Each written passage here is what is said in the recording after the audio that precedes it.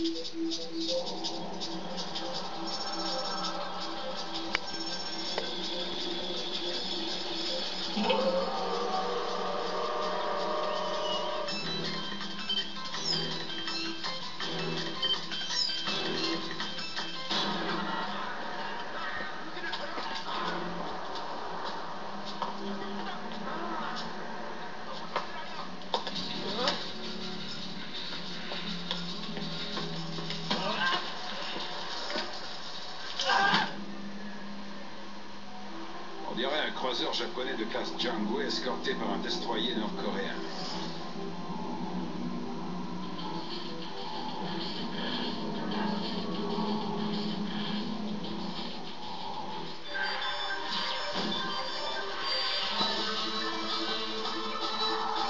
La situation en mer Jaune a empiré aujourd'hui quand des navires nord-coréens et chinois ont arraisonné un cargo japonais.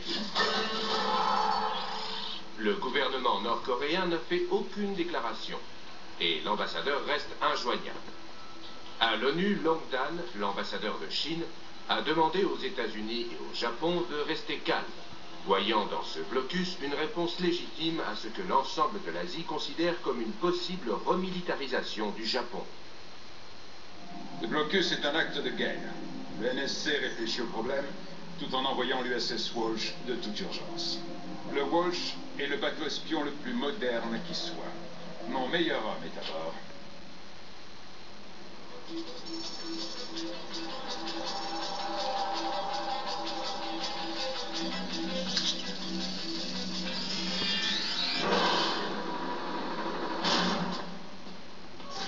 Regardez, les navires chinois et nord-coréens manœuvrent ensemble.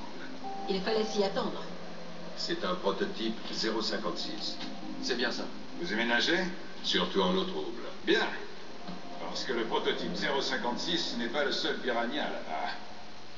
L'amiral Toshiro Otomo, chef de la nouvelle force de défense japonaise, l'ISDF, a déclaré Nous voyons là une nouvelle tentative de la Chine et de la Corée du Nord pour affaiblir plus encore notre économie.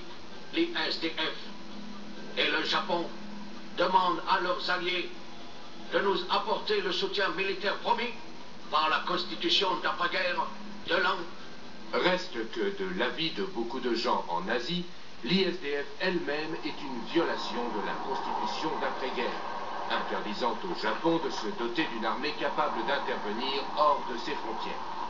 En Asie, le souvenir de la guerre est toujours vivace.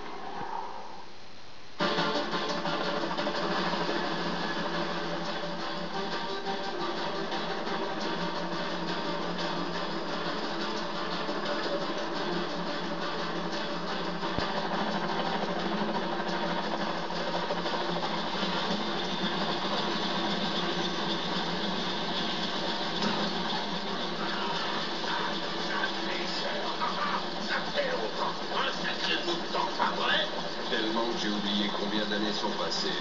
C'est vrai, ça fait un bain. Heureux de vous voir. Où y est votre petit lit? Merci.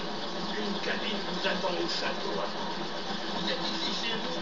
Et personne ne saura que